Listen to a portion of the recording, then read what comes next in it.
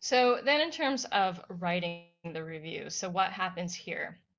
So uh, we think that there's a couple key elements um, to the review. The first is, is, summarizing the manuscript. So this is generally one to two paragraphs where you feedback to the authors in your own words what this paper is about. What's the question? What are the approaches? What are the findings?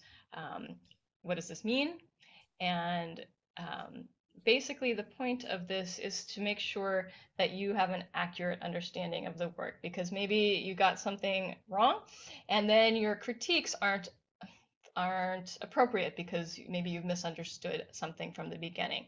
Um, that's useful for everybody to know because if you're just not on the same page for some you know basic misunderstanding, then that means the critiques need to be evaluated. Um, the other part of that also is if the reviewers can't summarize the paper, that kind of is useful information for the writers because you know you want things to be really really clear.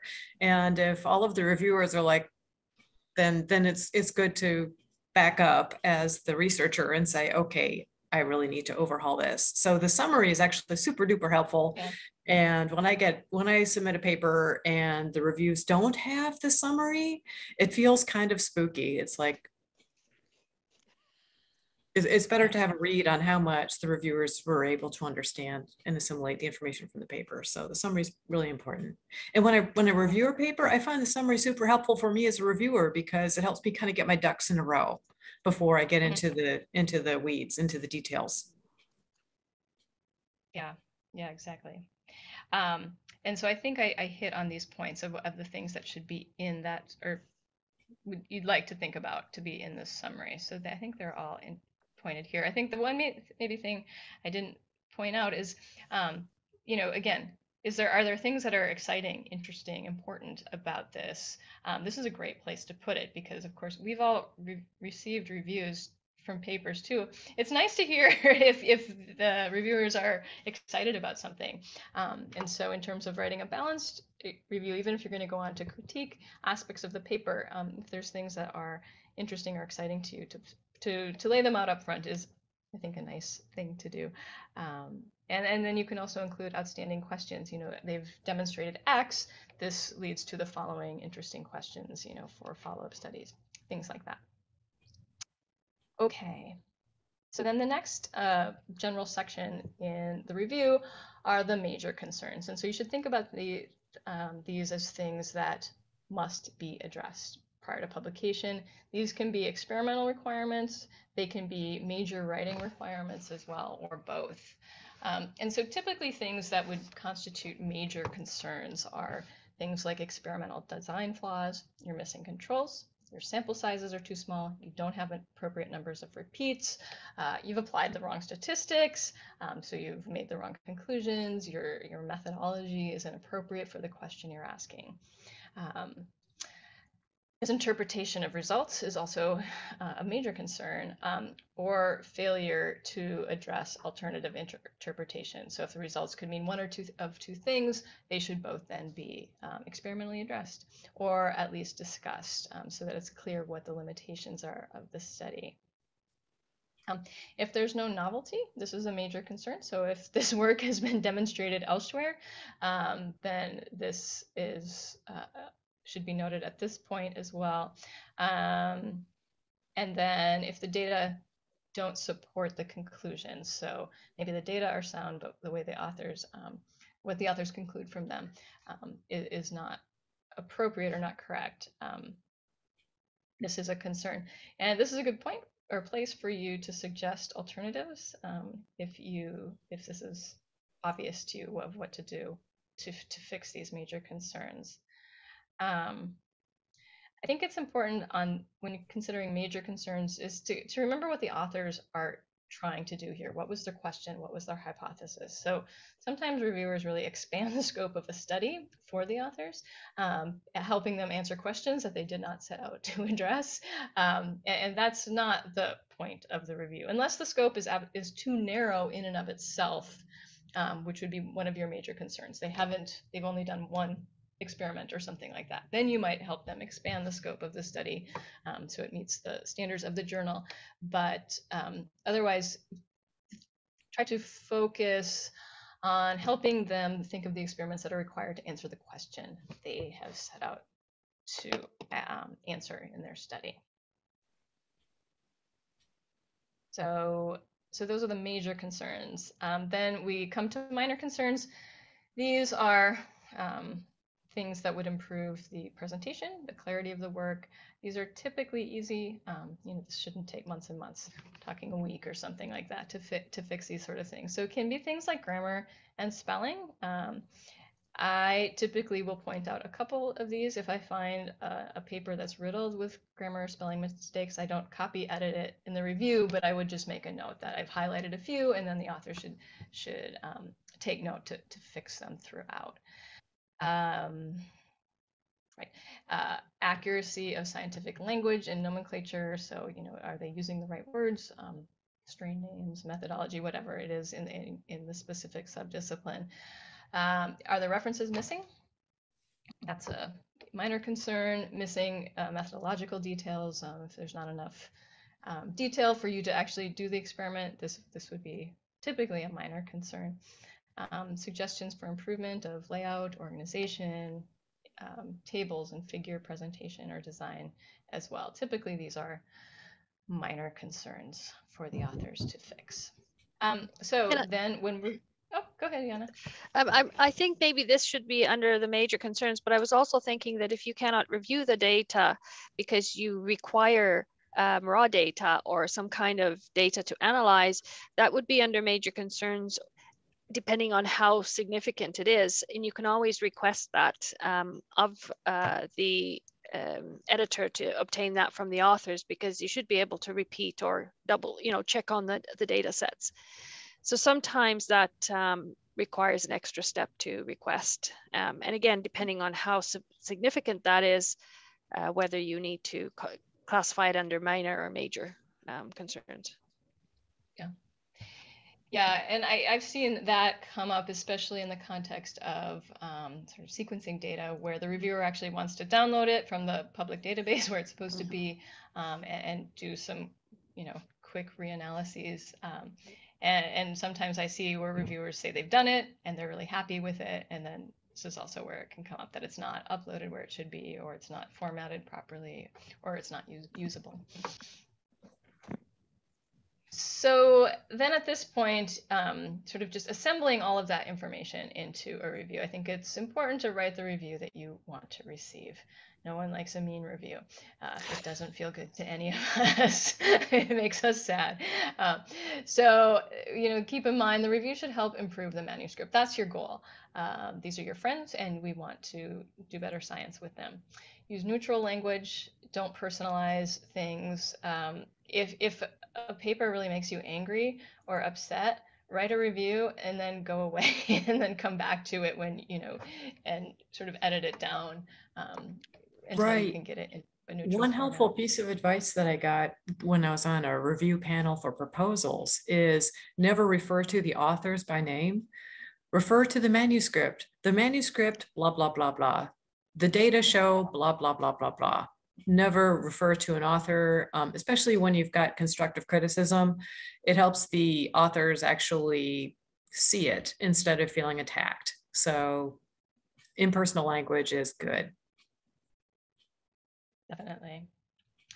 Um, I'd like to add something about uh, about this because I have a lot of experience in this. the, uh, when you finish writing your review, do not send it immediately. Wait at least 24 hours or a night and read it again and make sure that there is no trace of an emotional reaction. Uh, the language has to be completely neutral. The other thing I would like to add also is, and I will tell you about how to critique a paper to write, you know, to, to, to critique the data or whatever. Well, in many cases, there is no critique to be written. Uh, and I think we tend to always want to write a critique and whereas it probably should not be a critique. Keep in mind that there are different ways to write a discussion, for example. Uh, and it's not necessarily your way, but it might be just as good a way. So keep in mind that you don't have to write a critique for the sake of writing something. That's important.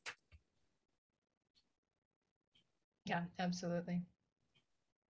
Um, if you do have a critique, however, uh, provide suggestions where possible. Yeah. Um, again, with the intention of helping to review a manuscript. Now, this is a balance because sometimes it could take you a whole lot of effort and work to help them design the right experiment, and that's not your job necessarily either. So, um, if, if, you know you have to balance this for them uh, or balance this for yourself at, to some degree, um, and then again, you know, if you're enthusiastic about anything, say so. This is you know your chance to also um, to to provide that balance and and that um, positive feedback as well.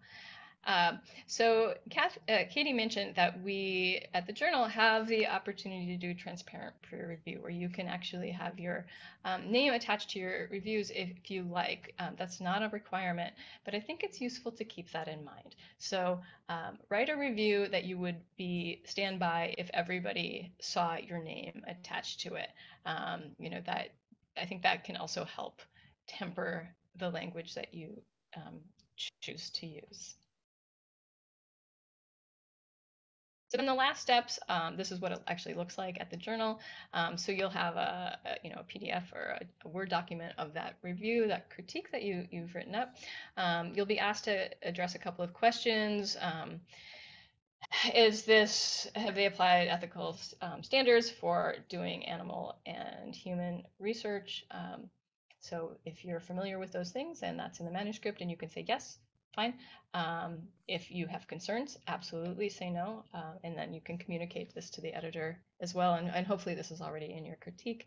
Um, are there suspicions of plagiarism, dual publication, falsification of data? So FEMS runs a plagiarism check um, on the manuscript um, for language. And so we see that as editors in chief. So if, if there's plagiar blatant plagiarism, we'll catch that up front and it won't go out for review. Um, and so typically we catch that, but that's that's blatant plagiarism. So it will be harder for us to catch, you know, plagiarism of ideas that might be, you know, sort of structured. You know, this looks exactly like another paper, but the language is different. Um, that you can see that sometimes it won't catch issues with figures at all. Um, and so we really rely on the, the reviewers to look at this carefully. Um, you know, sometimes mistakes happen. I had an example of this recently where um, a manuscript in in the supplement, the authors uploaded the wrong figure, and it happened to be a figure they had published previously. Um, and so we took it back to them. They were mortified. It was a terrible mistake. I got a three-page explanation of how this mistake actually happened. It was a file misnaming thing. Um, but you know, sometimes this can happen obviously on purpose as well. So this is important for um, you to catch and if it's happening um, so that we can address it appropriately. Okay, um, so then you will be asked to make a recommendation about the manuscript, accept, minor revision, major revision, uh, or reject. Um, and again, this kind of just goes along with your, your critique. If, if you mostly have minor revisions, um, nothing big, no big experimental asks, this can be minor. Typically, if there's experimental um, uh, issues to be addressed, this would be a major revision. If there's so many experiments to be addressed that they couldn't return it in a couple months, um, you know, that should be your sort of standard two to three months max. Um, it should be rejected. You are also um, can send private um, comments to the editors at this point if there's something that you want to flag that um, you didn't want to put in the uh, the review itself for some reason. Um, this is where you can do this. Um, sometimes this is things like plagiarism concerns if you're, for whatever reason, not comfortable putting that um, into the, the main review. Um, and then there's always this place where you can put comments. Oh, sorry. I'm sorry, I didn't mean to interrupt Kimberly. I thought you were moving on to comments for the author. The things that, another thing to throw in here that you may have just been starting to mention is this is where you can also mention the parts that you're an expert on and feel very comfortable with being able to critique and then say, hey, you know, I've never actually sequenced. And so those data I did not address. Yes, thank you. That's not what I was going to say. So oh, thank you okay. for that. oh, I was going to just move on. Um, and so then the comments to the author. This is typically just redundant for the document that you've already written. Um, some people just copy and paste that whole document into this um, box as well. So getting recognition for your review. So it's really important for us is that you, especially as early career researchers, get recognition. Um, because we think it's important for career development that you're not um, hiding in the shadows of uh, your PI or supervisor and doing it um, as a ghostwriter. Um, so we have a couple different mechanisms to get um, for you to get recognition. So as was mentioned already, we have this transparent peer review process. So you um, are asked whether you would be happy to disclose your identity as a reviewer of the manuscript. You do not have to say yes, um, but you can say yes here. I'd be happy to have my name shown after acceptance, or no, I, I prefer not. Um, but the authors may choose to publish the uh, reviews um, as supplemental material. That's the author's decision. So even if your name is not attached to it, you the, the reviews could be published um, anonymously. Um, so so those are those are the options here. So um, that's for transparent peer review. And then we also, um, our reviews are recognized in Publons. So you can have an account in Publons and um, get your review sort of uh, rostered in Publons as well. Uh, can I add something here? So it's actually really important that when you do your reviews that you do not, if you plan to not identify yourself here, not to identify yourself in any way in the review by accident or, or um, inadvertently, um, it should be anonymous um, until the, the late last stage, at least in this um, particular uh, review process. But it's also important to think about what uh, Patrick mentioned that to read your review the next day or after a period, and also reflect on the fact that um, you may or may not have disclosed who you are